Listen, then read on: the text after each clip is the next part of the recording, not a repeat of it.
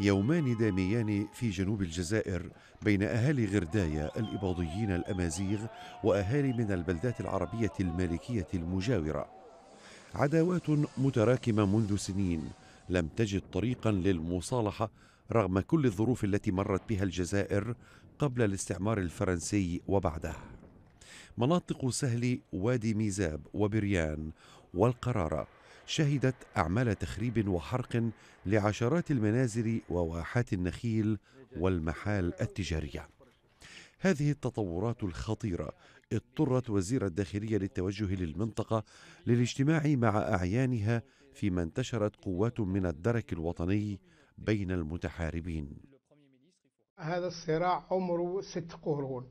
بدأ في عام 1408 بين قبيلة عربية وقرية تابعة لابن مزاب. القبيلة اسمها المخادمة والقرية اسمها مليكة أو أهل مليكة. أعمال العنف التي اندلعت مطلع الأسبوع هي الأسوأ منذ سنوات في المنطقة التي تشهد توترا وتنافسا على الوظائف والمنازل والأراضي. وتعد منطقة غرداية واحدة من أهم المناطق السياحية في البلاد والتي من شأن مثل هذه الأحداث أن تؤثر سلبا على مداخيل سكانها خصوصا وأن الحكومة تتعرض لانتقادات بسبب إهمالها لسنوات طويلة مسألة تخفيف الاحتقان بين أطراف الصراع.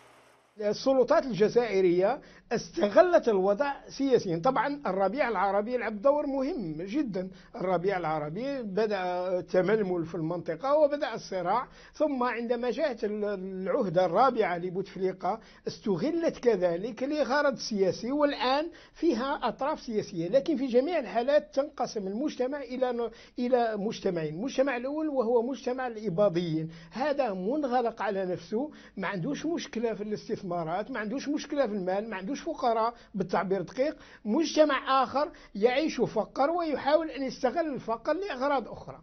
هذه الاشتباكات هي الأسوأ في السنوات القليلة الماضية والتي شهدت بدورها أعمال عنف مماثلة العام الماضي أدت إلى مقتل شخصين على الأقل. وقتل خمسة أشخاص في العام الذي سبق ذلك فيما شهدت عشرات الأعوام الماضية. احتكاكات وهجمات متبادلة سرعان ما توقد النار التي لم تنطفئ أصلا تحت الرماد.